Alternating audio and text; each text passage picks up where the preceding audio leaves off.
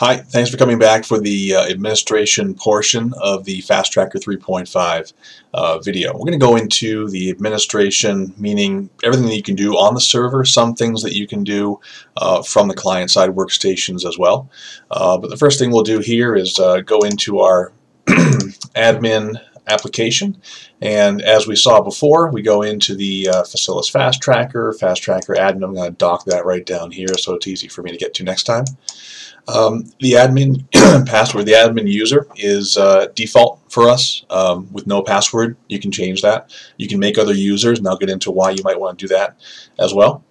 Um, first thing that pops up here is my auto indexes. Auto indexes are watch folders. They're basically everything that you're indexing on a regular basis. Uh, here I have most everything set to one hour. One hour interval, it'll go and look at that volume, at that folder, wherever I chose, and find if there is any new media to index. And it just basically compares what it's done before with what's there now. So with all these, uh, with all these auto indexes here, um, I've already indexed everything on my system. So uh, I can go ahead and remove a lot of these auto indexes uh, from here to show you sort of how we start up uh, because a lot of these auto indexes were created from the global indexing, which I'll I'll show you how to do right now. Which is really if you're installing to a, um, a server that already exists and you already have volumes, you already have projects, the global index setting is probably the best way to go, and uh, that's where we'll start. Uh, because up here in the file menu, I see I have uh, something called server global index configuration. Uh, and that is uh, the method by which uh, we go in, find the volumes that are available uh, for indexing, and then present those to you as something that you can you can use to create new index tasks based on those individual volumes. Um, so, uh, I mean, if you want to just go crazy and, and select everything, that's fine. Uh, what will happen is you'll create index tasks for each one of these. That will be set to a manual interval for repeat. You can set that to every hour. Uh, it'll be set to skip files below a certain size. I have 50 KB here. That's gonna that's gonna be high or low depending on uh, what you're doing. If you're bringing in lots of camera cards with lots of metadata files in the camera cards that really don't mean much for you as you're uh, assembling the, the, timelines, then you may have that higher, or you may just have the index extensions uh, written out so that you don't include those. For example, I could type in here uh, MXF, MOV, MP4, if those are normally what I'm bringing in all the time, maybe WAV files, um, then you know that's all it's going to take. It's going to disregard everything else.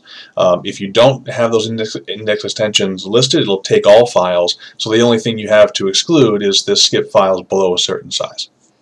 Um, sequence handling tells you tells the server tells the the application how you want to manage file sequences so most of the file sequences we see are uh, OpenEXR or the DPX, TIFF, that kind of thing. Um, if you want to use sequence handling by extensions, then you, you type in the sequence extensions that you want here. DPX and EXR are a good case here. If I want to add uh, Targa and TIFF, I can do that as well. Um, and if I just sort of take away everything, uh, or if I just say sequence handling all, it just means that anytime it sees a file that has a sequential name, it's going to combine those into a single asset.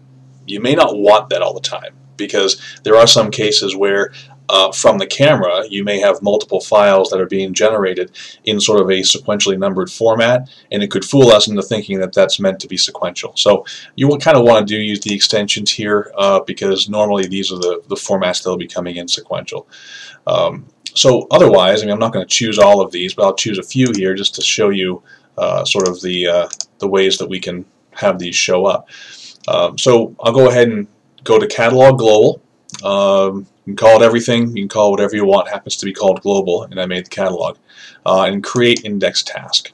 Uh, so if I OK out of that, what this did was this went through and created four different index tasks in the auto index that uh, are uh, matched up with four different volume names and there's no path because it just takes the root of that volume and says I'm going to index everything. So as you can see here, it's gone through and, and went from indexing, and then it went to idle for all of them because it's already indexed everything in all those volumes, so it doesn't need to do anything. Uh, but it will show you that the last time it, it attempted this was today, just now, you know, so it, it, knows that the last time it ran, the last time it tried to run, all those are there. Minimum file size is showing up here. You can change any of these if you want. So if I see that uh, my my uh, Daniels volume, uh, if I know that it has some files that are very small but that I want, uh, I can change this so that uh, it now goes down to you know 10k or something, and then update that selected, and that just that one auto index changes to a, a different um, requirement for minimum file size. And then the next time I go through and run that, and it goes through indexing, if there's anything there that's that's between 10 and 50k, it'll pick it up, uh, which is what that size, minimum file size is meant to do.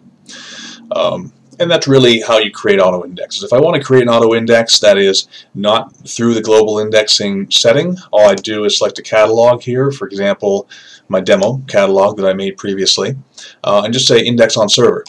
Uh, it gives me a path and says, okay, where do you want to index? Uh, okay, FS vol because I'm in version 8. If I'm in version 7, that's going to be C volumes. Uh, it's C FS vol because I'm in version 8. Um, and then there's DJI volume. I can select that to go. And so that went through, indexed real quick because there's nothing in there that's not already in the database, so it, it's now idle as well. Uh, but um, all of these are in catalogs. Catalogs, of course, have different um, settings when it comes to uh, how you, what it does with the file once it's indexed. Uh, will it create a proxy or a preview file? Uh, those are things that we went over before, uh, but we're going to go over those again in a minute when we get into the rest of the, uh, the administration.